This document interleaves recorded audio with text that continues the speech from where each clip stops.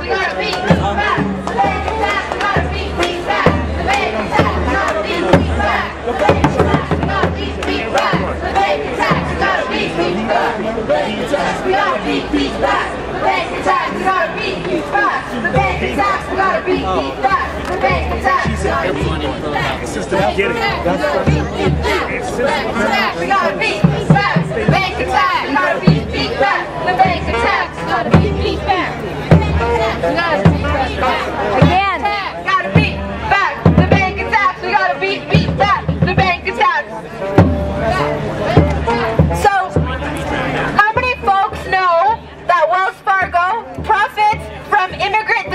detention? So Wells Fargo has invested $142 million in two companies, CCA and GEO Group, that construct and populate private detention centers and private prisons. So the government has prisons, right? And the government has detention centers. But they're not big enough to house all of the people that the government is actually imprisoning. So companies have decided that they're going to help the government out. They're going to make private prisons, private detention centers, and the government will they then pay them. So the government gets, uh, no, I'm sorry, these companies get $100 a day for every prisoner that they have. The government gives them $100 a day. And who pays the government? We do. We do. So we are paying for, we're paying $100 a day for people to be detained. Some of these people are undocumented. Some of these people are not. Some of these people know why they're in the detention center. Some of them don't. But all of them are being separated from their families for months, sometimes years. They get lost in a detention system that is broken. I mean, it's it's not meant to, to get people out. Because if it was, then, you know, someone wouldn't be paid $100 a day to have someone sleep on a bed. So, um, not only does Wells Fargo benefit and profit from having people in prisons and detention centers, how do you get people in prison? You make laws, right? That's right. You say, hey, we're going to make these group of people illegal, or we're going to do something so that we can arrest them. Who's heard of SB 1070? Yep.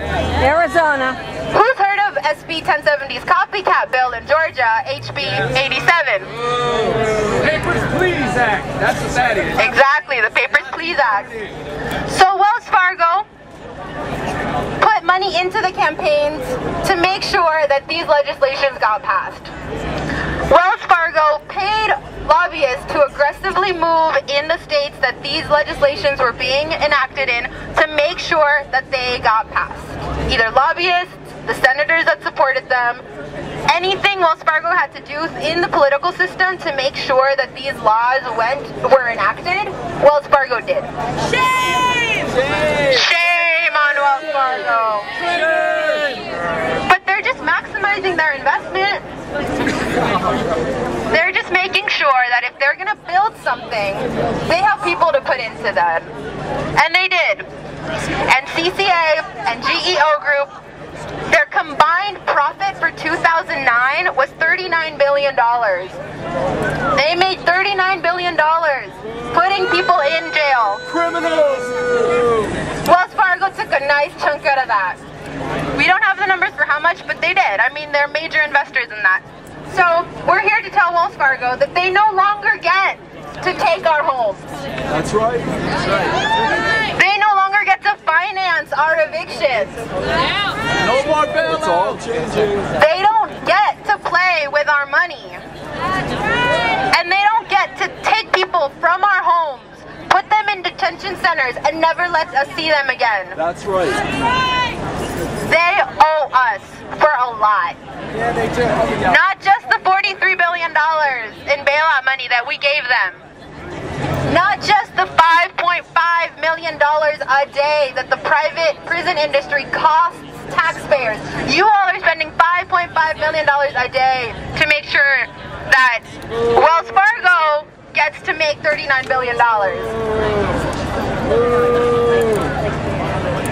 Wells Fargo is a criminal. Yeah.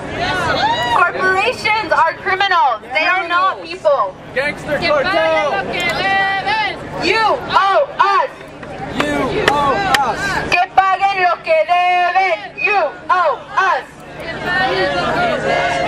You. So if you have your money in Wells Fargo and you haven't out yet, please do. It's a long process, it's annoying, it's hard, but if you can, please take your money out of Wells Fargo. Just one second, see if I need your name. And video camera. Zamudio, and I'm a tenant counselor with Causa Justa Just Cause. How do you, how, what's your last name? Spell it. Please spell it for me, Maria. Zamudio, Z-A-M-U-D-I-O.